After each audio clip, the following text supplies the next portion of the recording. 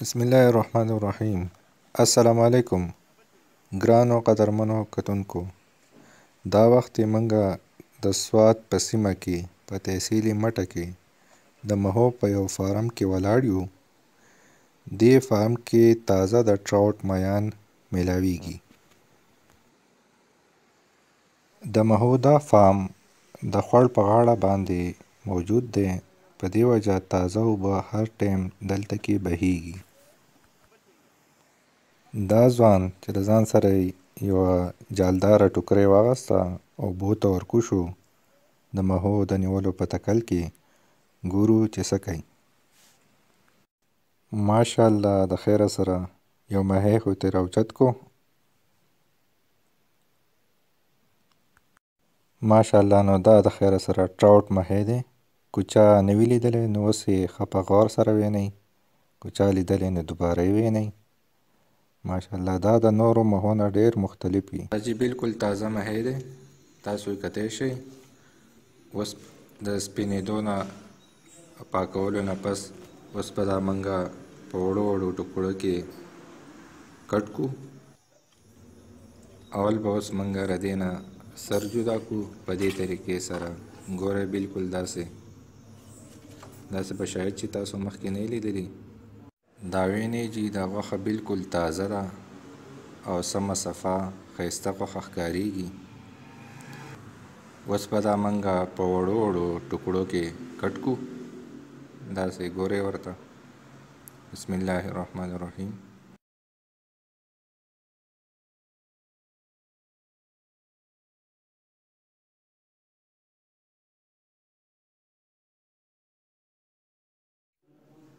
د کټ کولو نه پس دا منګه په یو ټری کې کې خودل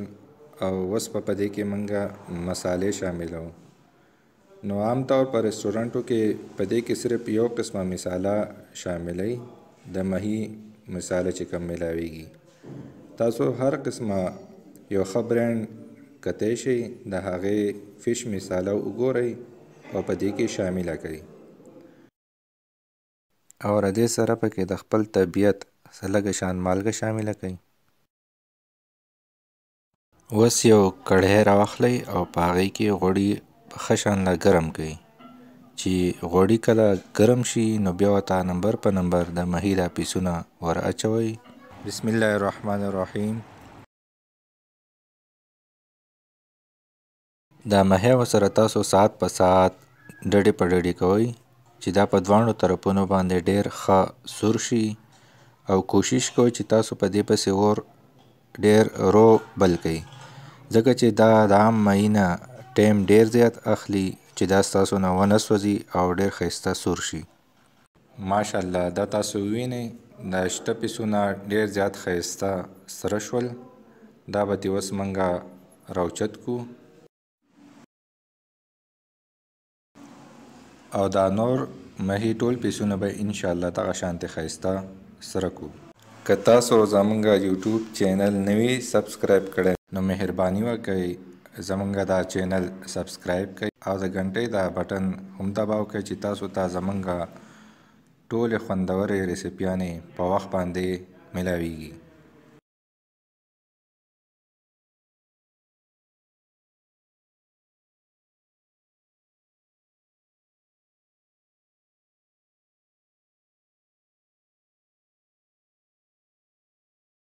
ماشاءالله